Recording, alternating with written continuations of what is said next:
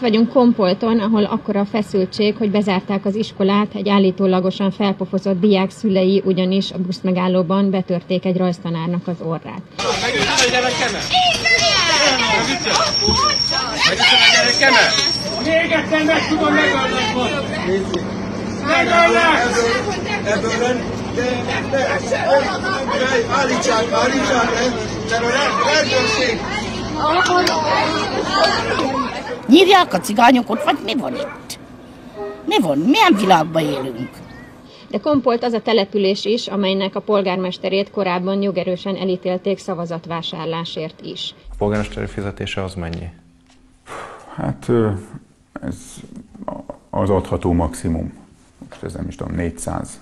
400 millió forintból számolhatják fel a szegregátumot itt szintén, ahol az is megesett, hogy a cigány kisebbségi önkormányzati választáson több jelölt közül lehetett választani, mint magán a települési önkormányzati választáson. Nézzük, hogy milyen az élet itt, Komkolton.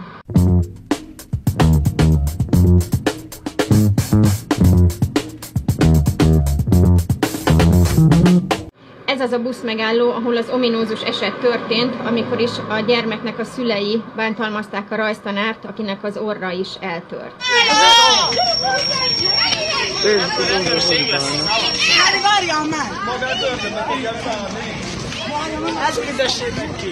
Tanár urat ugye én na- nagyon régóta ismerem, annak idején engemet is tanított, hát eleve az ijesztő volt, hogy ugye véres volt a pulóvere, vérzett az orra, akkor még nem gondoltuk, hogy ennyire súlyos a sérülése, de mindenképpen ugye látszott, hogy valami na- nagyon komoly cselekmény történt, hisz ahol folyik a vér, azért az ott komoly helyzet.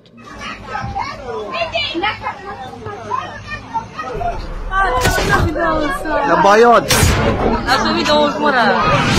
Gyerekek még mindvégig jelen voltak ezen az esemény alatt. Gyerekemet!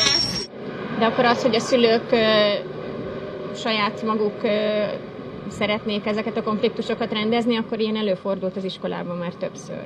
Ilyen előfordult már, sőt az elmúlt évben is, az elmúlt tanévben is többször volt ilyen eset, de ezeket tudtuk kezelni a pedagógusokkal, illetve nekem legtöbbször az iskolaigazgató mindig jelezte, hogy van ilyen jellegű dolog, be fog jönni egy szülő, vagy be van rendelve egy szülő, ezeket mindig megoldottuk, ha el is hangzott hangos szó, azt általában tudtuk kezelni, ha nehezen is. a hétköznapokban mennyire hasonlóan előfordulóak ezek a cselekmények? Tehát az egyszerű emberek találkoznak ezekkel a társadalomból kiilleszkedett egyénekkel, és esetleg van problémájuk nekik máskor is ezzel, vagy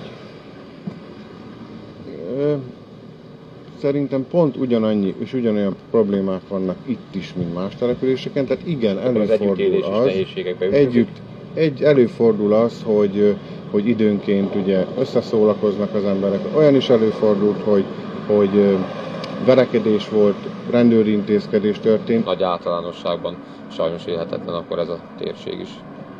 Igen. Kérdés, hogy van-e a politikának teendője ez ilyen esetek kapcsán, ugyanis látjuk, hogy hiába vezették be országosan az iskola őrséget, egy busz megállóban is történhetnek hasonló esetek.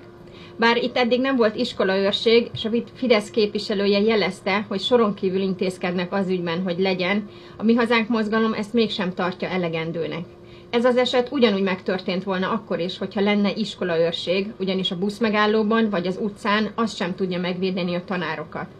Szigorúbb törvényi szabályozásra van szükség, és azokat a gyerekeket, akik képtelenek beilleszkedni a többségi normákat betartó osztályokba, őket igenis szegregálni kell, és külön intézményekben kell nevelni azért, hogy olyan felnőttek legyenek, akik majd később a munkára, mint a megélhetésük forrására tekintenek, és hajlandóak lesznek betartani a közösség normáit az iskolákban és az iskolán kívül egyaránt.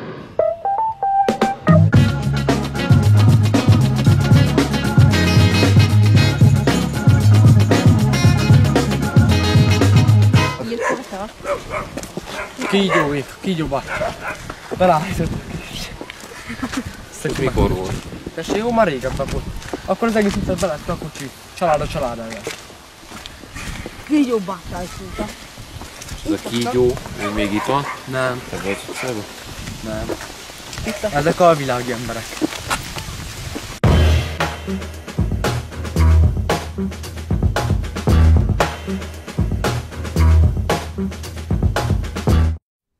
Kompolton 20 éve egy feketeöves politikai bűnöző a polgármester Balázs Zoltán, talán az egyetlen olyan magyar településvezető, akit jogerősen elmarasztaltak szavazatvásárlásért. Kimondta a bíróság, hogy három rendbeli szavazatvásárlás történt. Tudjuk nyilván, hogy ahol három rendbeli van, az nem három rendbeli, de mindegy, maradjunk az ítéletnél. És ez az ember egy szavazattal nyert az ellenfele, Blahó László ellen, aki egy polgárőrparancsnok, a közösségnek egy igazán megbecsült tagja. És ezek után a magyar bíróság nem tiltotta el Balázs Zoltánt a közügyek gyakorlásától, úgyhogy azzal a lendülettel neki is vágott a következő mostani választásnak, úgyhogy azóta is ő Kompolt település polgármestere. Kompolton a problémák nem oldódnak úgy meg, mint olyan településeken, ahol egy szimpatikus, a közösséggel együtt élő lélegző polgármester van. Kompolt polgármestere egyébként Egerbe lakik, Eger Rózsadombján.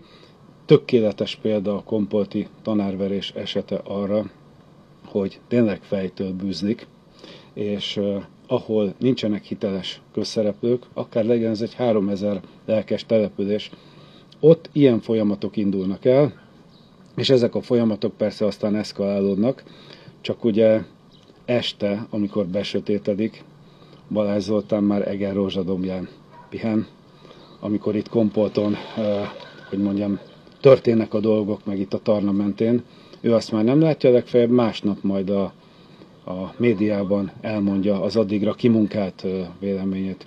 Úgyhogy én nagyon fontosnak tartom, hogy Pápa Jákos személyében volt egy darab olyan politikus, aki mert kérdezni ebbe az ügybe. Itt nagyon sok tisztességes politikus van Heves megyébe, de magánbeszélgetéseken elmondják, hogy hát ez egy politikai bűnöző. De ugyanakkor együtt fotózkodnak vele, egyeztetnek vele. A politikai osztály ezeket az embereket nem rekeszti ki.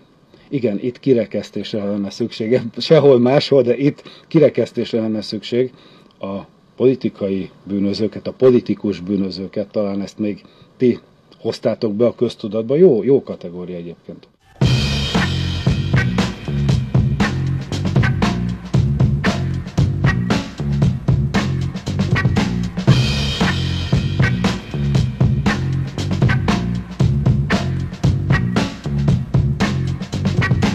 Kompolti utazásunk tanulsága, hogy a cigányság itt is teljesen más normák szerint él, és akár az elmúlt 30 év integrációs programjai, de akár a több száz éves úgymond úgynevezett integráció sem volt arra elég, hogy felzárkóztassuk őket, és a normákat be tudják tartani.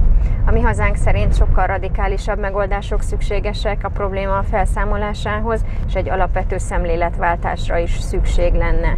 Az iskola őrség nem fogja megoldani az iskolában vagy az iskola környékén jelentkező feszültségeket, egy felületi kezelést jelent csupán, hiszen ebben az esetben sem az iskola területén történt a tanár elleni erőszak, hanem a busz megállóban várta a család.